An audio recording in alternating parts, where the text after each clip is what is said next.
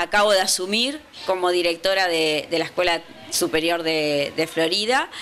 Este, un gusto poder estar acá.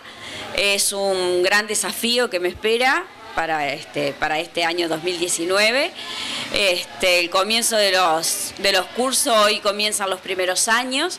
Este, y bueno, la, la idea es este, a partir de la semana que viene tener todo organizado para el comienzo de todos los cursos de todos los niveles. Latinamente van a comenzar el resto entonces las actividades. Sí, el 6 de marzo ya comienzan los bachilleratos y los de educación media profesional y este hoy comienzan los primeros años de ciclo básico y los primeros grupos de FPB formación profesional básica. ¿Están todas las inscripciones cerradas ya, eh, los cursos completos?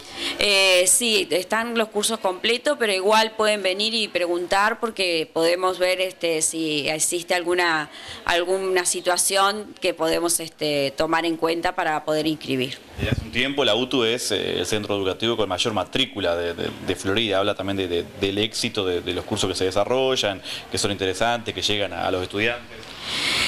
Sí, yo, yo soy nueva este, acá en la ciudad de Florida, digo, recién hoy como que me estoy interiorizando, vine en otras oportunidades a, trabajar con, la subdirectora, este, pero, pero bueno, pienso que sí, porque es una escuela superior y, este, y, por la matrícula y por los cursos que hay, este, eh, pienso que es una escuela que, que tiene muchos estudiantes.